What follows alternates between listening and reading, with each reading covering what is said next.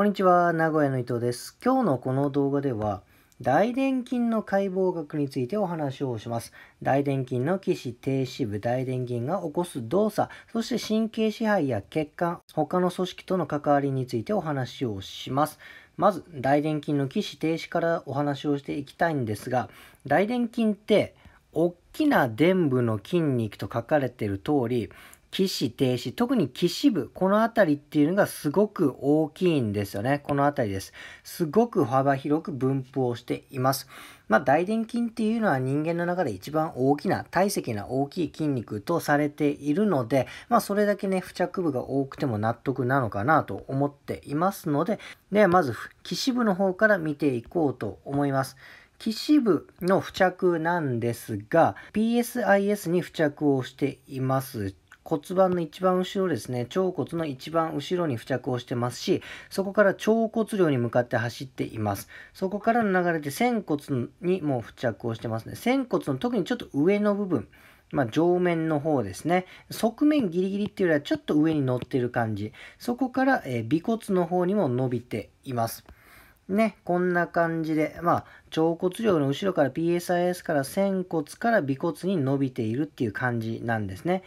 で、実はこれだけじゃなくてよく見ていただくと、この奥に人体走ってますよね。奥の方の組織っていうのはここの線結節靭帯にも付着をしています。線結節靭帯っていう座骨結節から仙骨に向かって伸びる靭帯っていうのがあるんですね。この線結節靭帯にも付着をしていますし、注目してほしいのが、こんな感じで大臀筋が走ってて、この奥、これね、中殿筋ですね。透けて見えるのが中殿筋なんですが、大殿筋がね、ここ中殿筋かぶってますよね。ということで、中殿筋の筋膜、中殿筋膜とも言いますかね、中殿筋膜にも付着部があります。なるほどと。大臀筋っていうのは一見ね、こう骨だけにひっついてる、もしくは人体組織ね、この仙腸関節の人体ね、えー、線結節人体に付着をしてますけど、うん、筋肉にも付着があるんだっていうことを考えると、大臀筋っていうのを独立して考えずに、中殿筋ともこう、なんて言うんでしょう。ね、付着部があるということは、もう大臀筋と中殿筋っていうのはもう切り離してみるべきではないかなという考えもできますよね。もう、電筋っていうのを一つの大きな塊で見るのもいいかもしれないですね。こんな感じで中殿筋膜とも付着をしています。で、もうちょっとね、他の筋膜ともつながりがあるんです。それが、これ、まあ、あの、筋肉、筋肉で別の名前はついていますが、まあ、ざっくりと脊柱起立筋の筋膜とも付着があると。で、こんな感じで、えー、つながりがなくもないとは言い切れないですね。線結節靭帯とも付着をしているし、まあ、脊柱起立筋群の筋膜とも付着をしているということで、もうざっくりとこの辺りの組織ですね。骨もそうだし、人体系もそうだし、筋膜系ともつながりがありますよ。というところで、起死部っていうのはすごく多いんです。では、低脂部を見ていきましょう。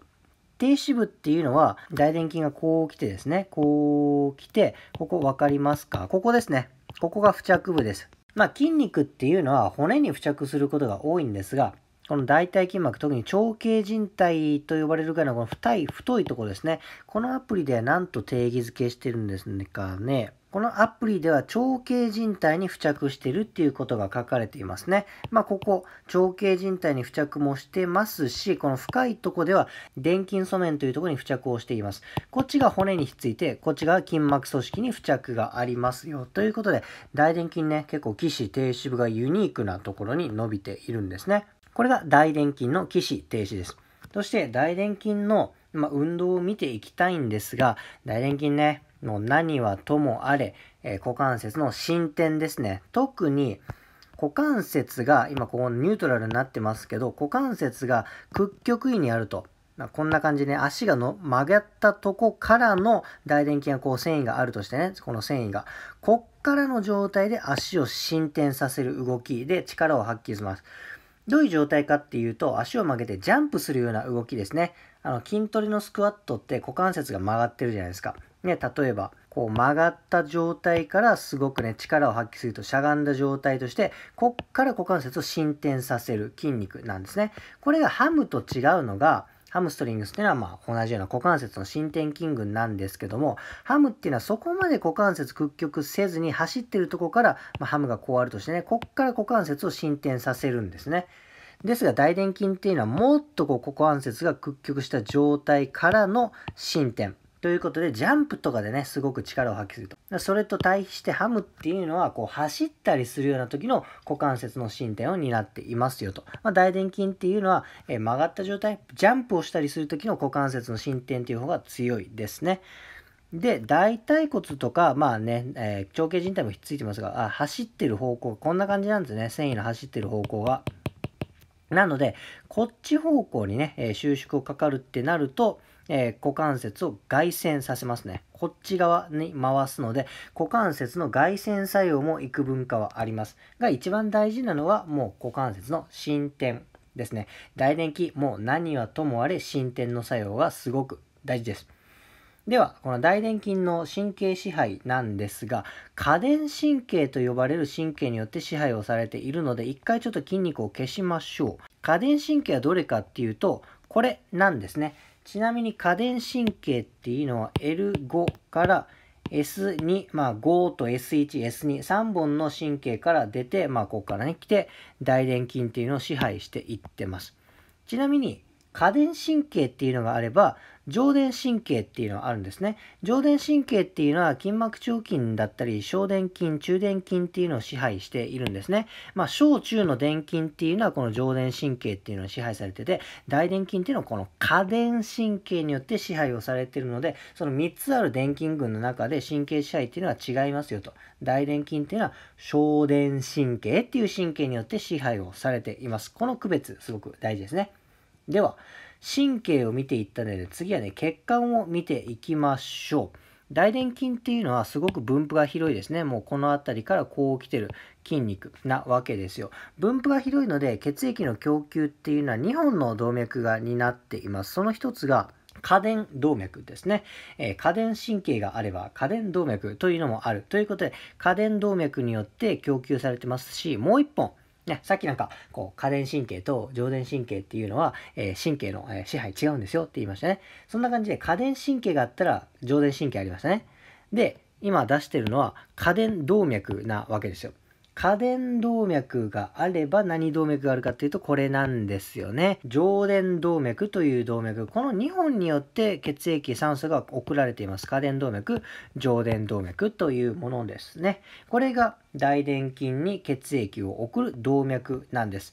神経の方では下電神経。血液の方で下電動脈と上電動脈というね、えー、ちょっと血液になると分岐が多くなってくるんですね。で、これが大電筋に命令を送っている神経支配と動脈です。では次に大電筋と他の組織との関わりを見ていきましょう。これですね、広背筋の時にも言ったんですが、まあこれね、えー、復習として繰り返しとして聞いていただきたいんですが、例えばこっちのね、左の大電筋の繊維の方向っていうのは、こっち、まあ、もしくはこっちに走ってるわけですね。右っていうのは逆になります。こんな感じでね、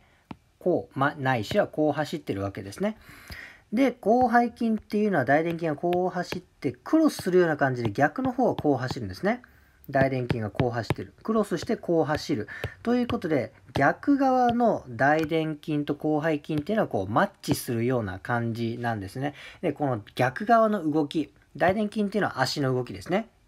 広背筋っていうのは手の動きですね。足の動きと手の動きが逆になるっていうことは、スポーツの場面ですごく多いわけですよ。それこそジャンプをするとか走るっていうのは、まあ左足が後ろに引かれたら右手を後ろに引くし、まあ右のね、大電筋、右足が後ろに引かれたら左手っていうのが後ろに引かれますよっていうことで、この体格の運動っていうのはすごく大事になってきますよね。スポーツの中で。で、その体格の運動のつながりっていうのはこの大臀筋と広背筋。ここでね、クロスをすると。これ詳しく言うと胸腰筋膜というんですが、この胸腰筋膜のあたりでこのね、繊維の方向がクロスするということで、大臀筋と広背筋っていうのがすごく大事な関係性になってきています。で、もう一つ。ここ大臀筋なわけですよ。これ大臀筋ね。で、長径靭帯に付着をしてるって言いましたよね。で、長径靭帯がずっとこっちに来て膝の方まで伸びていくんですよ。で、よく見ると、なんかこっちからも合流してません？大臀筋がこう来てこっちに合流するし、こっちからも合流していますよね。はい。この筋肉、ね、大腿筋膜腸筋っていう筋肉があるんですね。大腿筋膜腸筋。うん、有名ですね。大腿筋膜を引っ張る筋肉。だから大腿筋膜腸筋って言うんですね。一般的にこの腸径靭帯が硬くなる原因っていうのは、大腿筋膜腸筋と考えられているんですね。ここがギュッと引っ張るから、ね、腸径靭帯にストレスがかかると言われているんですが、この腸径靭帯のつながり、実大臀筋にもあるんですね。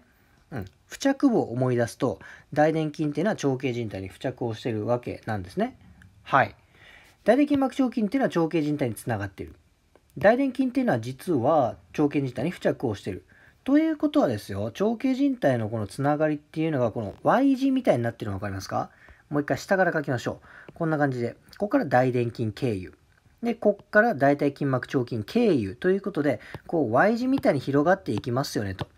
ということはですよ、腸径靭帯経由で、この前側にある大腿筋膜腸筋と、この後ろ側にある大臀筋っていうのが、ここ経由でつながるっていうことがあり得るんですね。位置関係的に言うと、前側にある大腿筋膜腸筋と後ろ側にある大臀筋っていうのは、なかなか結びつきにくいイメージなんですね。だって作用が全然違うから。で、大臀筋っていうのは股関節の進展をさせる。大腿筋膜腸筋っていうのは股関節を屈曲させる。で骨盤の働き的にも見ると大腿筋膜腸筋っていうのは骨盤を前傾させるで大臀筋っていうのは骨盤を後傾させるっていうことで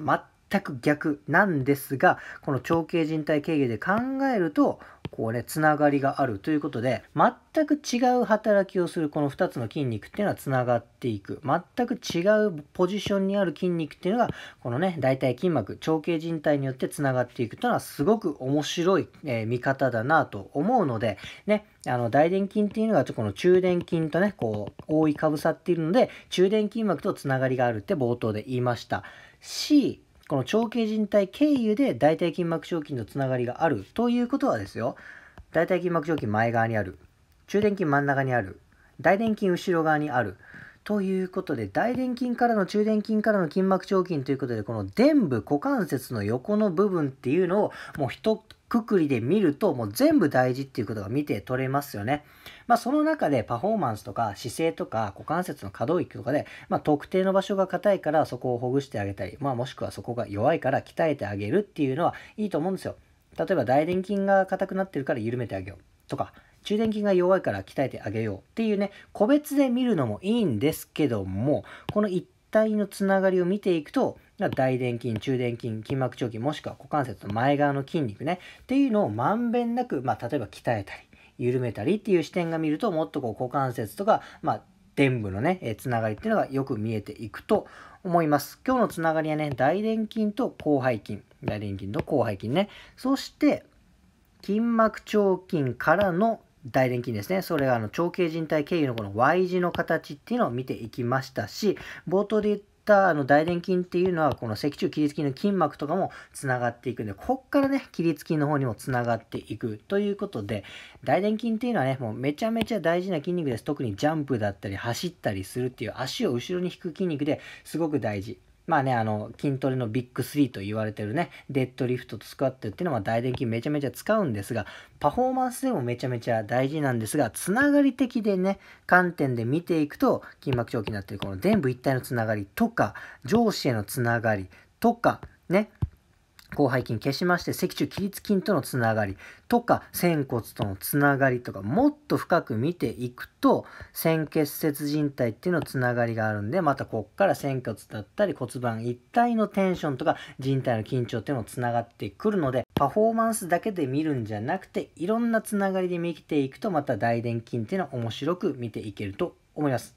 今日は大臀筋について深掘りをしてみました。以上です。ありがとうございました。